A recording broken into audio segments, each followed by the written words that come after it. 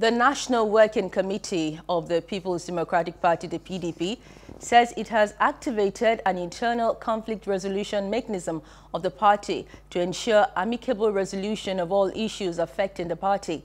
The party made this known in a statement by its National Publicity Secretary, Kola Ologbondiyan, on Wednesday in Abuja. Ologbondiyan said that the party's NWC rose from a crucial meeting where it reviewed the state of the party with a view to creating an atmosphere that will engender stability within the party. He assured members that the PDP remained stable as the National Working Committee was working to bring the party back to power in 2023. Hello, hope you enjoyed the news. Please do subscribe to our YouTube channel and don't forget to hit the notification button so you get notified about fresh news updates.